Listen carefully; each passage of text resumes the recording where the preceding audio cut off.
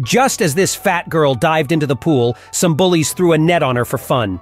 She had to quickly dive in again to free her, but when she came up, she found her friends had swiped all her clothes. Luckily, her bestie Anna was around. She asked Anna for help getting a towel, but Anna just took her last piece of clothing and fled. Anna hurried home with her head down, wearing only her bathing suit. On her way, she spotted Bella crawling on the ground, smeared in blood.